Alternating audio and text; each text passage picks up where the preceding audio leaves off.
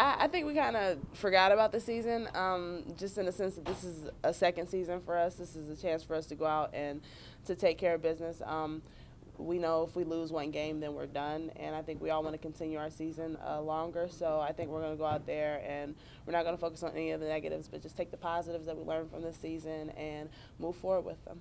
I think we do a, a good job of playing on the road. I think actually in the Big 12 we had a better road uh, record than we did at home. So um, I think we're all excited about the challenge. We know it's going to be a sold out crowd. Uh, we know we're playing them on their home court. Um, so we're just going to go in there and we have to be focused and we just have to be steady. We know gonna, there's going to be ups and downs. The other team is going to go on runs, but I think we, we just have to be steady and go in there and just play together. Well, sometimes we like to be the underdog because um, no one expects us to win except for us. and we try to go in like with a chip on our shoulder to kind of try to prove some people wrong, and I think we'll have a, another shot to do that on mm-hmm. Sunday.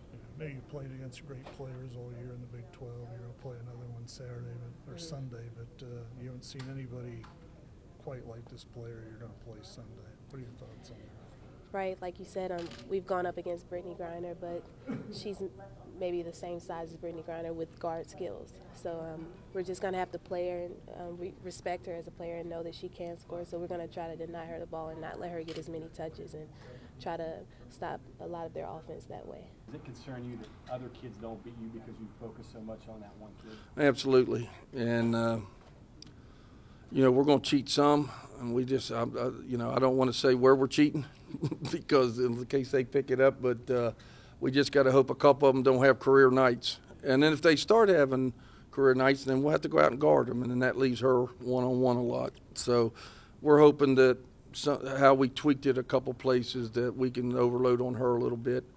And then, but it, but if the the other people that we're tweaking off of start hitting their shots, then we'll have to go out and play them also. She's a big girl. What what is it that makes her so special? Because she handles the ball and shoots on the perimeter, or what? Well, yeah, she's shooting almost 50% from the three, which makes her a threat, definitely a threat out on the perimeter.